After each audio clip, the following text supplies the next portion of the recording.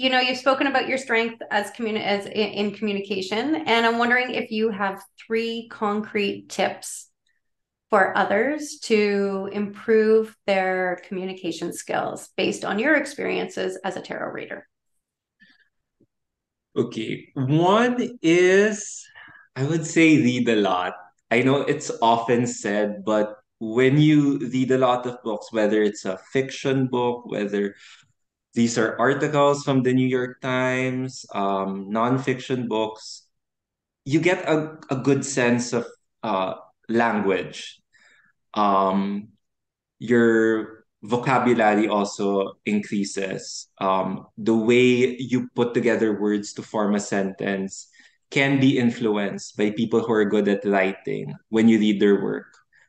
Um, different ways of writing, nice turn of phrases are something you're exposed to also when you read a lot.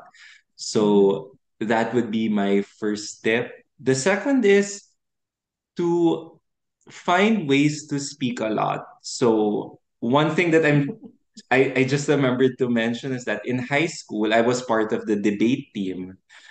So it's so those hours of practice, those hours of competition um, where there is that added element of pressure when you're up against other teams and there are points at stake. Um, those really help me. Um, so finding opportunities to to speak to people um, definitely helps.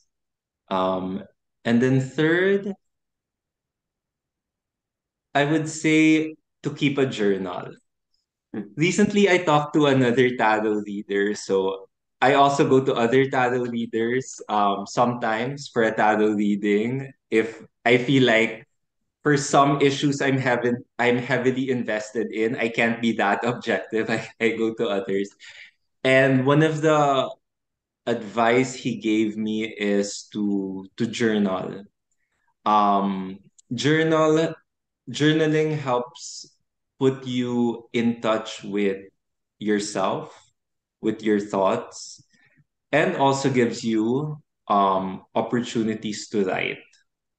So another way to practice communication um, through writing. So those are my Those tips.